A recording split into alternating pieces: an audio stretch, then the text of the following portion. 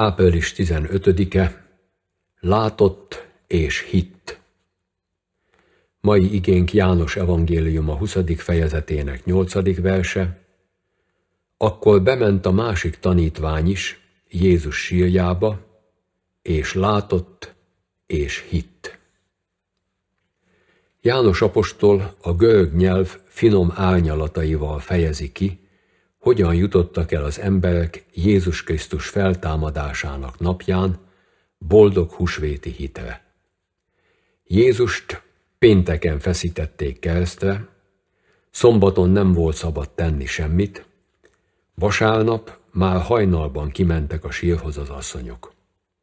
A Magdalai Mária látta, hogy a kő el van véve a sírbolt elől, elfutott tehát a tanítványokhoz, és azt mondta nekik, hogy elvitték az urat a sírból. Erre Péter és János azonnal odamentek, Péter benézett a sírba, látta, hogy a halotti leplek ott vannak, szépen összehajtogatva. Utána János is bement, ő is ugyanazt látta, de neki közben eszébe jutott, amit Jézus korábban mondott, hogy a harmadik napon fel fog támadni. Ma van a harmadik nap, akkor az Úr feltámadt. Látott és hitt. Hármójuk látását három különböző szóval fejezi ki a Szentíró. Mária éppen csak oda pillantott, s annyit látott, hogy nincs a helyén a zárókő, s már futott is, hogy ezt hírül adja. Ez a legfelszínesebb látás. Péter alaposan szemügyelvet mindent, s közben gondolkozott, de nem tudta megfejteni a rejtét, hova lehetett Jézus teste. Az itt használt szó az alapos vizsgálódást fejezi ki.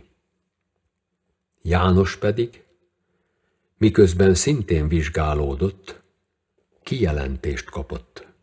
A Szentlélek eszébe juttatta Jézus szavait, s az ige és a Szentlélek mindig hitet ébreszt az ember szívében, vagy megerősíti a hitet, és a teljes valóság látására segít el. Nem csak a felszínt észlelem, nem csak a racionális gondolkozásig jutok el, hanem komolyan veszem a láthatatlanokat is, és helyes következtetésre jutok.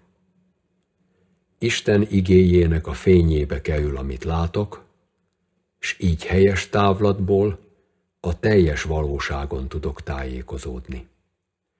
Ne éljük be kevesebbel, ne akadjunk el az első kettőnél.